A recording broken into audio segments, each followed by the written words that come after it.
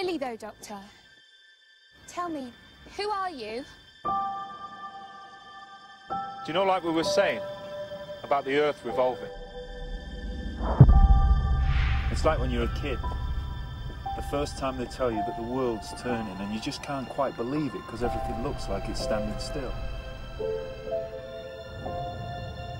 I can feel it.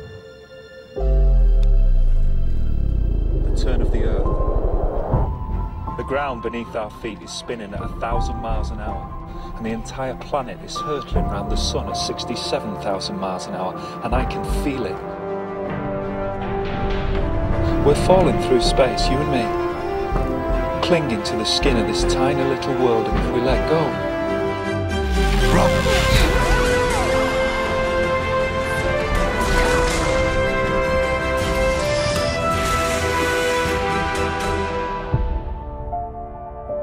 That's who I am.